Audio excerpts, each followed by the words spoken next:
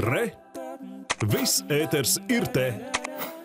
Эпидемия гриппа, которая в этом сезоне длилась три месяца, закончилась. Об этом объявил Центр контроля и профилактики заболеваний. Число заболевших гриппом за последние две недели не превышало сотни на 10 тысяч жителей.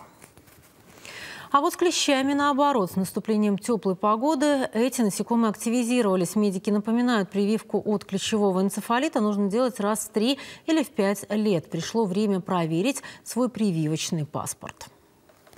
Лучше вакцинироваться и чувствовать себя спокойно, чем переболеть клещевым энцефалитом. Мы, конечно, надеемся, что люди продолжат вакцинироваться, потому что весна – это время, когда каждый вспоминает про прививочный паспорт.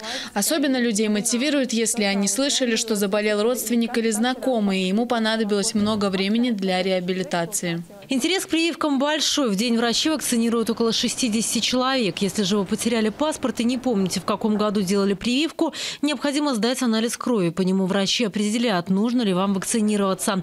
Однако необходимо помнить, что клещи переносят не только энцефалит, но и болезнь Лайма.